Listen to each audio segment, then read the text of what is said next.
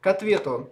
И вот спустя многие годы после того, как конфликт с Новосибирск-Энерго был урегулирован, то есть между РАО ЕС России и Новосибирск-Энерго, мы постарались э, этот кейс обобщить. В рамках сегодняшнего занятия его полноценно разыграть сложно. Я только могу заметить, что Третейский суд помогает сгладить сильный дисбаланс, когда имеется трудно доказуемые обстоятельства, как, например, выигрыш в ряде судов Московской области, в течение определенного срока не проиграть вопрос, связанный с атакой РАО ЕС России против регионального производителя электроэнергии, Новосибирск Энерго. Здесь э, переговоры зашли в тупик. И поскольку с одной стороны участвовал очень сильный игрок, а с другой стороны слабый игрок, как вы видите, да, вот этот переговорный дисбаланс, он мешал нормальному продолжению взаимоотношений. Но после того, как было проведено третейское разбирательство и достигнуто мировое соглашение по условиям предоставления отступного в виде графика платежей, рассрочки платежей, затем этот график платежей был дважды нарушен, а по условиям этого мирового в случае двукратного нарушения агент, слабая сторона по договору, вправе взыскать всю сумму досрочно, включая проценты, что и было сделано. Полученный исполнительный лист уже в арбитражном суде. Поэтому часто третейский суд позволяет сгладить э, переговорный дисбаланс. Переговорный дисбаланс по-прежнему будет оставаться во многих отношениях, как, например, сейчас в банковской сфере.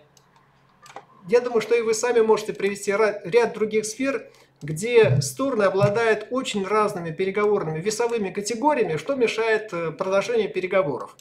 Так вот, обращение в Третейский суд помогает часто возобновить переговоры и отыскать э, решение.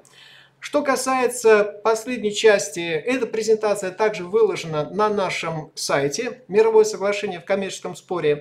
Я его обзорно просто вам э, продемонстрирую. Хотел подчеркнуть, у нас э, сейчас возможно заключение мирового соглашения с использованием средств усиленной квалифицированной электронной подписи. В этом случае стороны могут самостоятельно предоставить проекты мирового. Одна и та же редакция, которая подписана с одной стороны истцом, с другой стороны ответчиком по достижению соглашения с использованием средств коммуни коммуникаторов. Вот здесь проект мирового, который является фактически расчетным способом.